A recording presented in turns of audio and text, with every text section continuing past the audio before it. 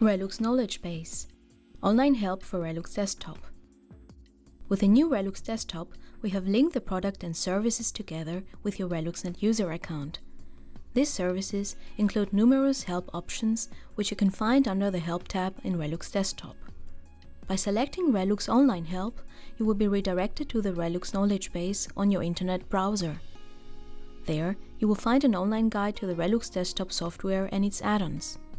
And if you want to search for a specific question, you can just type in the knowledge base search function where you get real-time suggestions to your inquiry. Go through the suggestions and select the appropriate one. If your question is more specific, you can also create a support ticket. Type in your question in the subject field of the ticket and by confirming it, you will receive further suggested solution options depending on the keywords which might already contain the solution. If not, you can create a support ticket which you can check its status anytime, since your Relux desktop account is linked to the website and the new support system. What is also connected to your Relux desktop account is the new forum, which you can exchange questions and ideas with other users in the Relux community.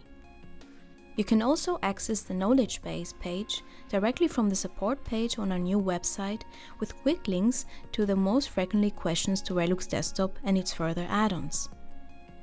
On our website, you will also find access and quick links to the Relux Community Forum, which concludes the versatile support possibilities available now under one user account, linked when using Relux Desktop. Thank you for watching.